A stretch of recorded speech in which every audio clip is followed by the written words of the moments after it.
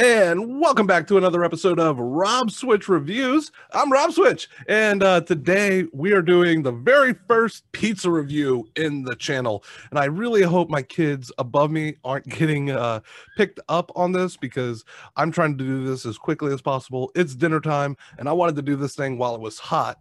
Uh, I got a Papa John's meal for my family tonight, and we got the cheeseburger went the wrong way. It's fine. Cheeseburger pizza. Now, this thing has been out before, but it was out way before I was on YouTube. I saw the pickles on the uh, menu, and that was my draw. I was like, I got to get it. I got to try it. I love pickles. I don't know how I really feel about pickles that are heated, but hey, let's give this thing a go. So, looking at it, uh, it's definitely got cheeseburger on it. Might be sausage, uh, tomatoes, cheese, and it looks like some sort of cheddar cheese um, sauce. So, all right, let's dig into this thing. Let's see how it is.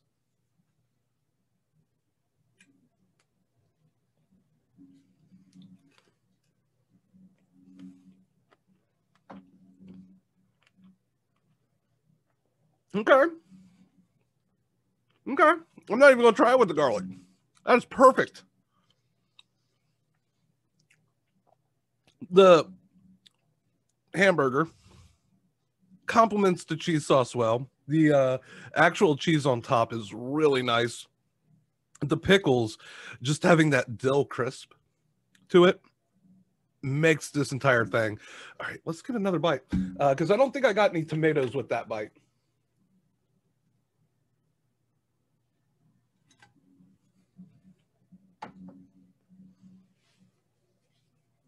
Yeah, I like that.